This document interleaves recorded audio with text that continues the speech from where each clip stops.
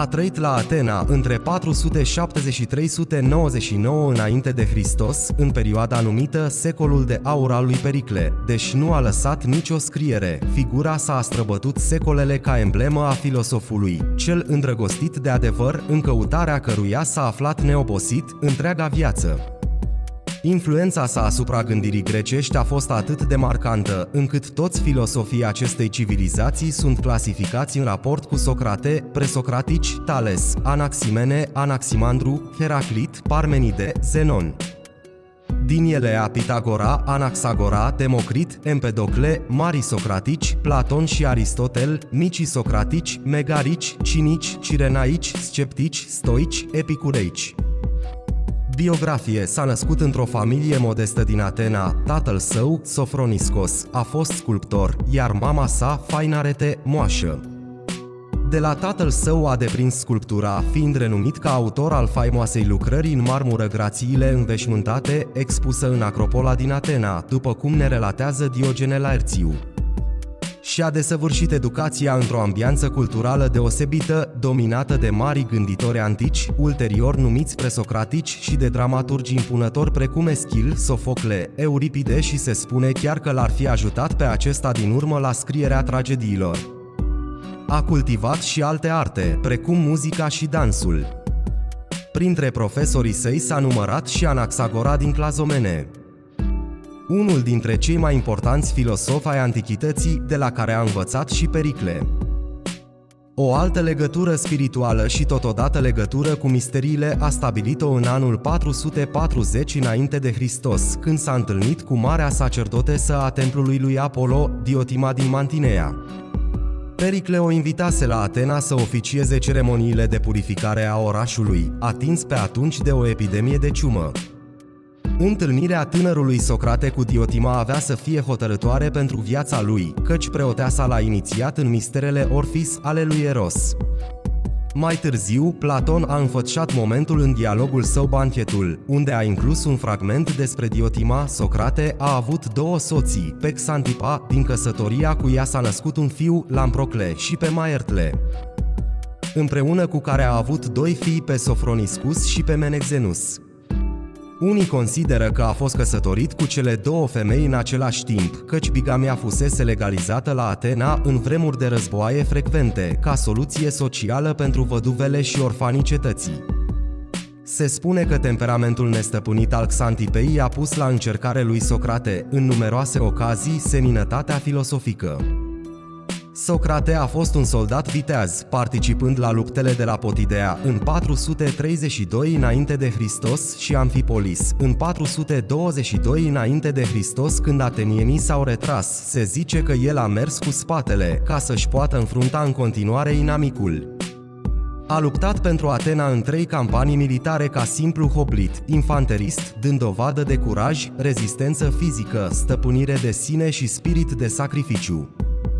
Pe câmpul de luptă a salvat viața unor personalități ale momentului, printre care Alcibiade, un foarte bogat om politic și istoricul Xenofon, fără a urmări gloria sau vreo altă recompensă, în afară de plecările pe front, rareori a părăsit Atena. Se știe că a călătorit la Delphi, că a vizitat Corintul, iar în Samos s-a întâlnit cu fizicianul Arhelaus, a respectat cu strictețe legile Atenei și îndatoririle cetățenești. Toată viața a dat dovadă de simplitate, justețe, cumpătare, demnitate.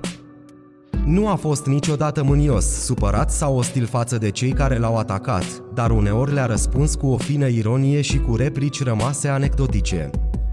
A avut mulți discipoli din rândul celor mai distinși tineri atenieni. Diogene Laerțiu ne oferă o mulțime de mărturii și anecdote culese de la autori antici, grăitoare pentru caracterul filosofului atenian, dârzenie, curaj, dominarea pasiunilor, austeritate și independență față de puternicii vremii.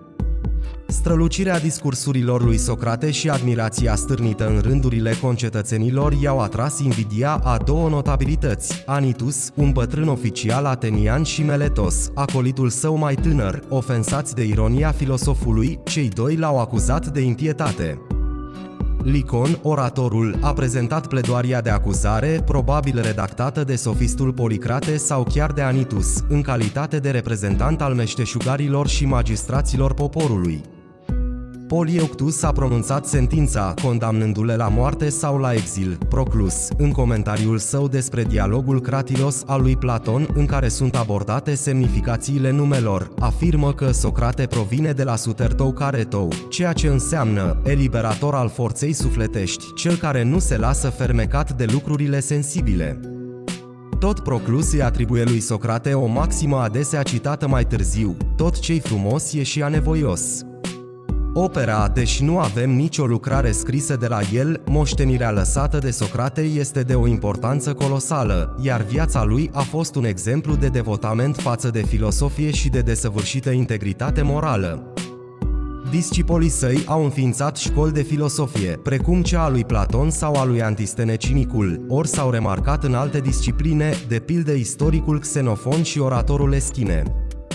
Diversitatea punctelor de vedere ale discipolilor înlătură imaginea unui Socrate închis și dogmatic, așa cum a fost caracterizat uneori. Pentru Socrate, orice cunoaștere esențială se supune îndemnului înscris pe frontispiciul templului ce adăpostea oracolul din Delphi, cunoaște-te pe tine însuți.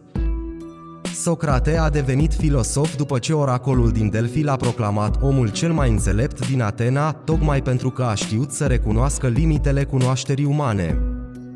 Cercetând motivele acestei alegeri, Socrate a ajuns la concluzia că el este singurul care își recunoaște ignoranța și nevoia de a învăța, tot ceea ce știu este că nu știu nimic, dar știu că pot ști mai mult decât știu.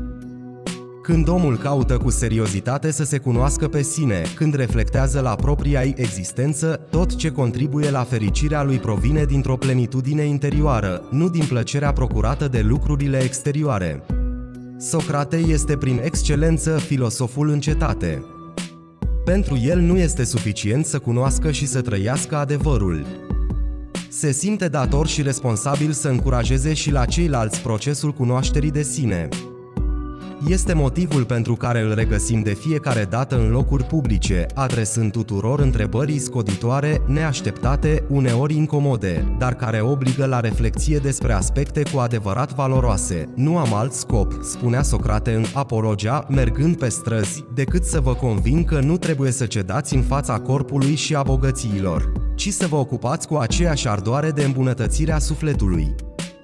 Vă repet că nu bogățiile aduc virtuți, ci virtuțile aduc bogăția și tot ceea ce este prielnic, fie individului, fie statului.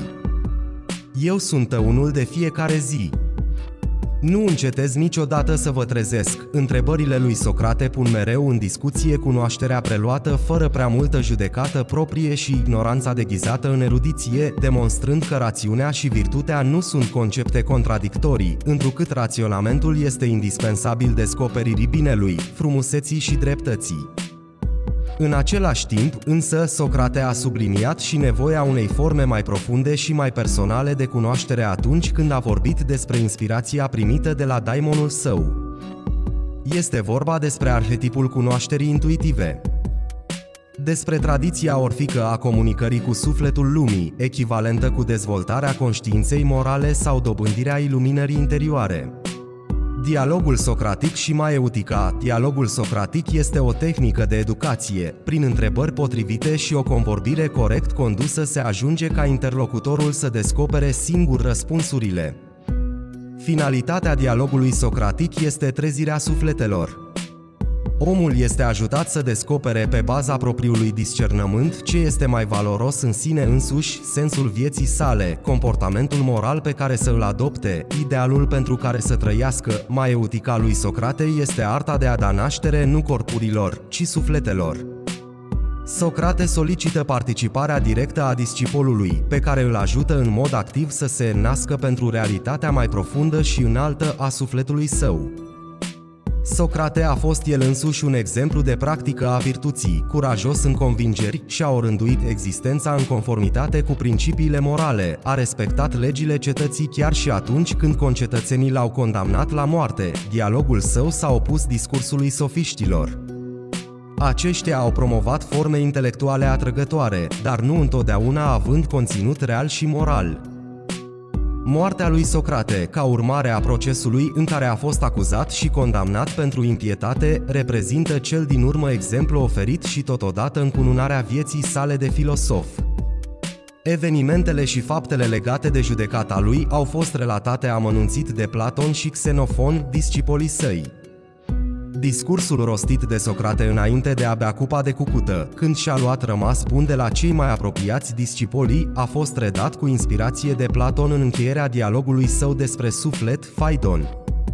Într-un cadru simbolico-mitic, Socrate atinge aici tema nemuririi sufletului, numind-o valoarea cea mai de preț a unei vieți demne și descrie etapele vieții de apoi în termeni ce prefigurează divina comedie a lui Dante.